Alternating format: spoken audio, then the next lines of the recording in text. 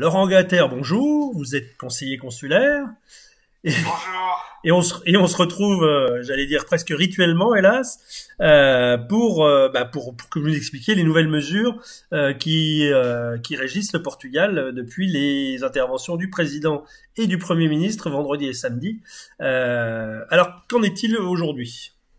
Alors, on rappelle que le président de la République portugais, il n'est autorisé à valider l'état d'urgence que pour 15 jours. Ce qui veut dire que tous les 15 jours, on va s'y recoller à cette histoire-là. On a les règles à partir du 24 et ça s'applique jusqu'au 8 décembre. Le 1er décembre et le 8 décembre, c'est des ponts au Portugal. Bon, c'est déjà arrivé plusieurs fois. On empêche euh, la circulation des gens euh, en dehors de leur concélio. Donc on va empêcher la circulation des gens entre concélios pendant toute la période du pont.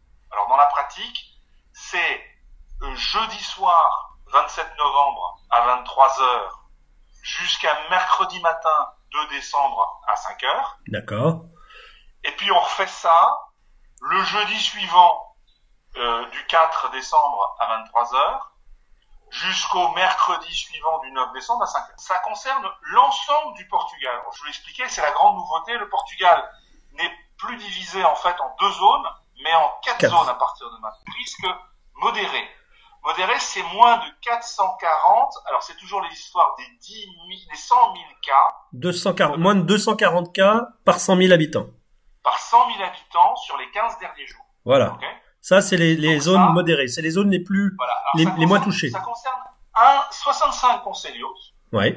On va avoir les conseillers qui ont un risque élevé. C'est-à-dire, ils sont entre le 240, qui est un petit peu le cap, euh, le, cap européen, et puis le double, c'est-à-dire 480. Alors, c'est ça s'appelle risque élevé. Oui. Alors ce sont les grands conseillers d'Algarve, par exemple, par exemple euh, Portimão, Villa do Bispo, euh, Faro, ok.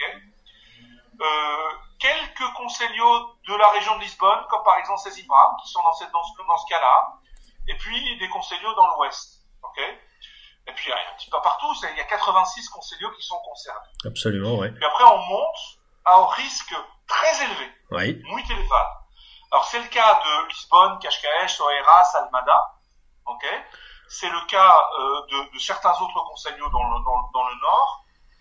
Euh, mais c'est pas le cas du Grand Porto. Le Grand Porto, il est en risque extrêmement élevé. Oui. C'est-à-dire plus de 960 cas, euh, cas par 100 000 habitants, c'est-à-dire pratiquement 1%. Hein. Oui. Euh, quand on est à 960 ou quand on est à 1000, en fait, ça veut dire que on a 1% de la population qui s'est retrouvée contaminée dans les derniers 15 jours.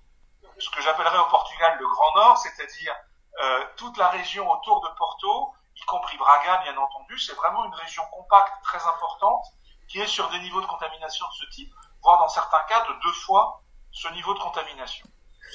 Alors, une fois qu'on a défini ces quatre euh, zones, quelles sont les mesures qui, qui, qui, qui continuent à s'appliquer ou les nouvelles mesures sur toutes ces zones, sur ces différentes zones? Alors, continue à s'appliquer dans ces zones-là. Ouais. en fait, le, le, gouvernement a décidé de mettre ensemble le risque très élevé et le risque extrêmement élevé. Donc Lisbonne et Porto se retrouvent ensemble. Et là, on va à nouveau avoir notre histoire de couvre-feu à partir de 13 heures, les, les, les jours du week-end et le jour férié ok? C'est-à-dire le samedi, le dimanche, et puis les mardis prochains, puisqu'ils vont être fériés. Et là, là, on va voir ce que nous avons actuellement ce week-end, c'est-à-dire à partir de 13 heures, Jusqu'à Euh, 5 heures du matin on ouais. ne pourra pas avoir des restaurants ouverts, on ne pourra, on ne pourra se balader en gros qu'à pied, et euh, les commerces seront effectivement euh, fermés. Alors les restaurants pourront continuer à faire du, euh, du, Des livraisons Ouais. Ouais. et puis euh, certains euh, commerces de grande proximité alimentaire pourront effectivement être ouverts. Dès lors, on l'a compris qu'ils ont une porte sur la rue et qu'il faut, Il faut moins de 200 mètres carrés. D'accord. Voilà, Donc là, là, là, ça ne change pas. Pour les autres, eh ben, cette règle-là ne s'applique pas. D'accord. C'est-à-dire que euh, dans l'essentiel de l'Algarve, par exemple, ben, on ne sera pas préoccupé le samedi ou le dimanche, pas pouvoir aller déjeuner, voire dîner au restaurant. Continue à s'appliquer comme dans tout le pays, 23 heures. À partir de 23 heures, on est censé être chez soi jusqu'à 5 heures du matin. A un, un- un vrai renforcement des contrôles. Alors, y compris en entreprise, dans les zones où le risque est élevé, euh, le gouvernement a noté que parfois euh, les entrepreneurs, les employeurs ne respectaient pas suffisamment la consigne du télétravail. Donc il y aura, euh, notamment dans les services, donc il y aura effectivement un petit tour de vis, à mon avis, sur ce point-là. Donc soyons très très prudents. En tout cas, un renforcement de, de des exigences par rapport au masque, si vous voulez, voilà. qui est assez net dans, dans le discours du Premier ministre. Et donc pour la France, euh, suite la semaine prochaine, puisque on a une allocution du président mardi, c'est bien ça?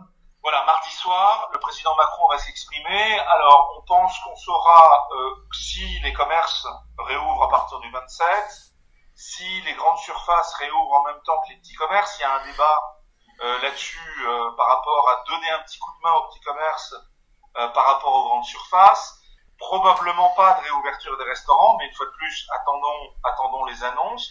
Et d'une manière générale, quand même des choses qui sont en train de s'organiser pour que nous ayons un Noël possible, tant au Portugal que euh, en France. Je crois que le, le, le puisqu'il y a beaucoup de psychose et il y a beaucoup de préoccupations euh, parmi les auditeurs, je pense que quand même ce qu'essayent de faire les différents gouvernements, tant en France qu'au Portugal, c'est de faire baisser la courbe des contaminations, de reprendre de l'espace euh, en soins intensifs, de manière à ce qu'on puisse un petit peu réouvrir pour les fêtes, et puis n'en ayons pas de doute, malheureusement, après, euh, début janvier, on aura probablement à nouveau euh, une phase de, de, de, de reprise, de, reprise, ouais. Je veux pas dire phase à nouveau de restriction.